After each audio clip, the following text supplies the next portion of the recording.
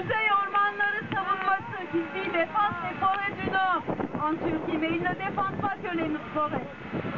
Ils suivent de très près non seulement la lutte contre l'aéroport de mais aussi le projet politique de la ZAD. En Turquie aussi, de nombreux projets coûteux et inutiles dévastent la nature, les forêts, les rivages, les lieux historiques et la vie des habitants. Et cela se passe souvent dans des endroits classés patrimoine du monde, où un écosystème particulier existe et abrite des espèces protégées.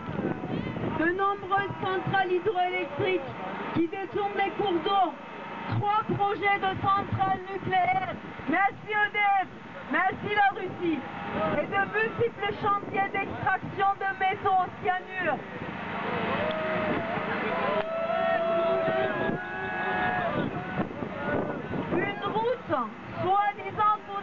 à quatre voies, euh, long de 1600 km sur les hauteurs de...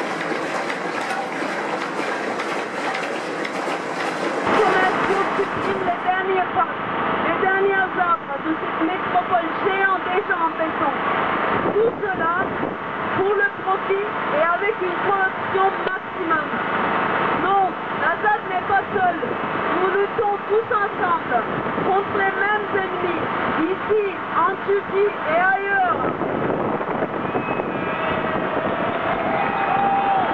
Comme les copains copines clament à Istanbul en ce moment. Vive la solidarité internationale. La ZAD est partout. Et en on dit her yerde. Vous dites avec moi pour eux.